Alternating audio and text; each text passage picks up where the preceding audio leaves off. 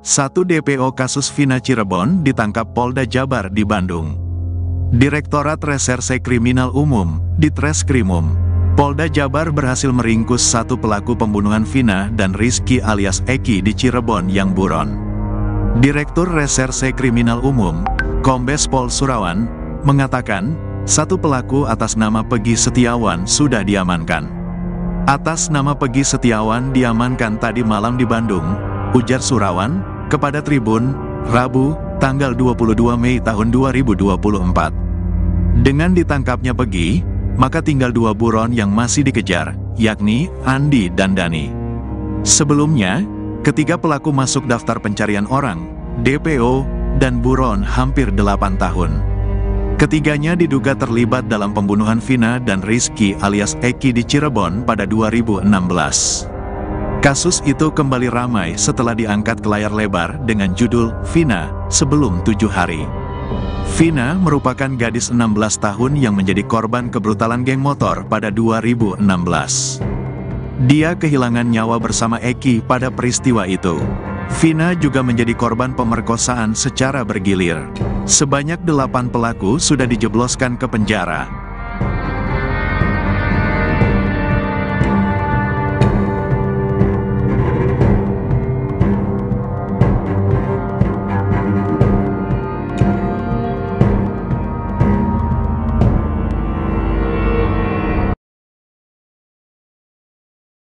Polisi tangkap satu DPO kasus Vina Cirebon, benarkan otak peristiwa tragis hilangnya nyawa Vina dan Eki.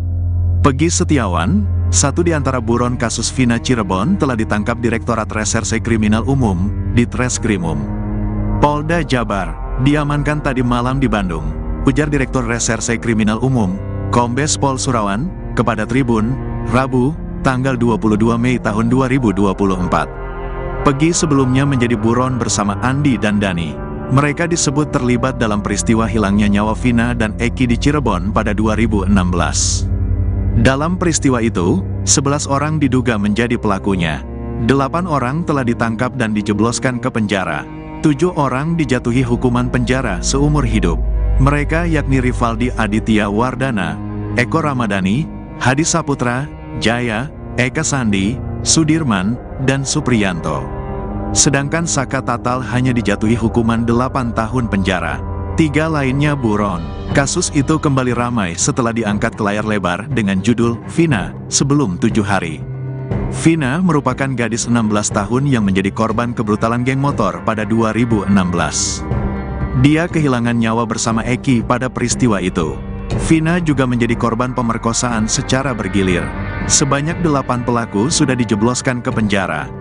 Polisi sebelumnya mengungkap ciri-ciri tiga pelaku yang diduga terlibat dalam pembunuhan kepada Vina dan Eki yang buron. Tiga buron itu adalah Andi, Dani, dan Pegi alias Perong. Nama terakhir ini diduga sebagai pelaku utama. Kabit Humas Polda Jabar, Kombes Pol Jules Abraham Abbas, mengatakan, polisi masih terus memburu ketiga pelaku yang diduga terlibat dalam peristiwa tersebut. Kami berupaya mencari saksi yang mungkin mengetahui terkait dengan ciri-ciri ketiga tersangka DPO ini, ujar Abbas, Kamis, tanggal 16 Mei tahun 2024. Pihaknya masih mencari identitas pelaku berdasarkan ciri-ciri yang sudah ada. Abbas pun meminta masyarakat untuk segera melaporkan ke kantor polisi terdekat jika ada yang mengetahui alamat, keluarga, Sosok Pegi pada kasus Vina Cirebon yang sudah ditangkap Polda Jabar disebut-sebut otak kejahatan. Sosok Pegi Setiawan yang diduga sebagai otak kejahatan berupa pembunuhan terhadap Vina dan Eki di Cirebon telah ditangkap. Pihak Direktorat Reserse Kriminal Umum, Ditreskrimum, Polda Jabar menangkap Pegi di Bandung pada Selasa, tanggal 21 Mei tahun 2024, malam. Diamankan tadi malam di Bandung, ujar Direktur Reserse Kriminal Umum, Kombes Pol Surawan, kepada Tribun, Rabu, tanggal 22 Mei tahun 2024. Pegi sebelumnya masuk daftar pencarian orang, DPO, sejak peristiwa terjadi pada 2016. DPO lainnya yang belum ditangkap adalah Andi dan Dani. Mereka disebut terlibat dalam peristiwa hilangnya nyawa Vina dan Eki di Cirebon pada 2016. Sosok Pegi-Pegi alias Perong juga disebut Eki. Berdasarkan rilis ciri-ciri yang dilakukan Polda Jabar, Pegi berusia 22 tahun saat peristiwa terjadi pada 2016. Artinya, dia kini berusia 30 tahun karena peristiwa itu sudah berlangsung 8 tahun lalu. Pegi alias Perong disebut berasal dari desa Banjarwangun, Kecamatan Mundu, Kabupaten Cirebon. Pria yang disebut sebagai otak peristiwa kejahatan itu memiliki ciri-ciri fisik bertinggi 160 cm, badan kecil, rambut keriting, dan berkulit hitam.